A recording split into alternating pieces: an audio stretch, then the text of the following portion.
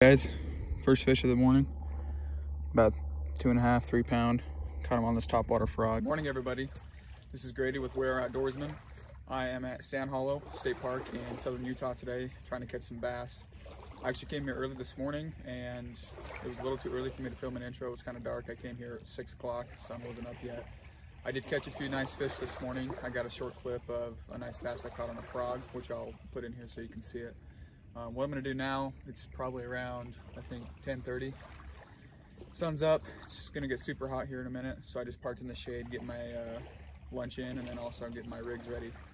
There's a dam on this side of the lake. I'm gonna go into a little bit deeper water just because of how hot it is. And also there's construction going on across the way. So they're taking a lot of water out of the lake. So the water level is extremely low.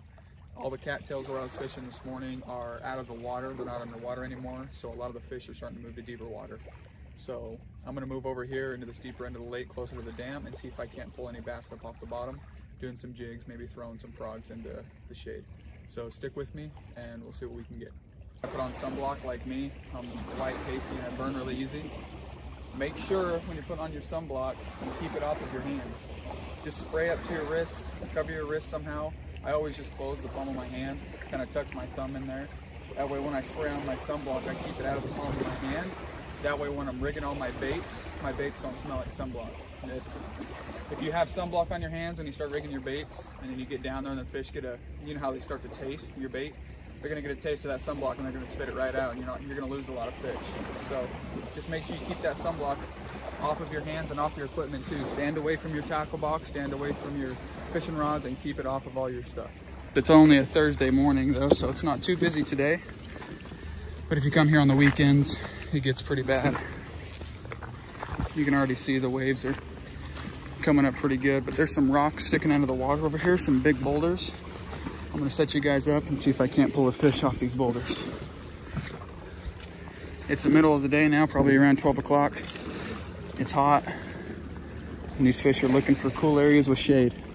Up underneath these big boulders, it's a good area. You see those two boulders, so we're gonna try it out.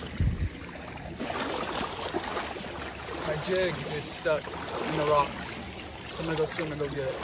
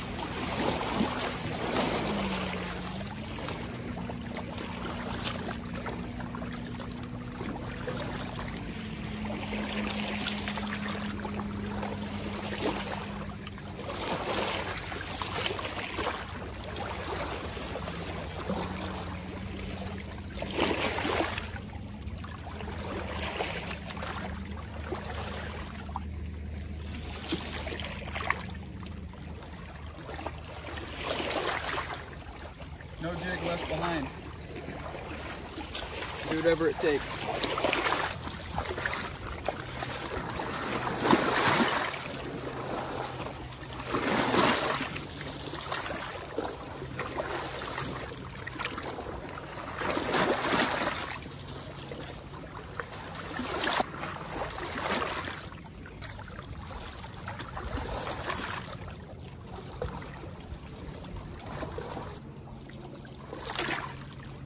How'd you doing?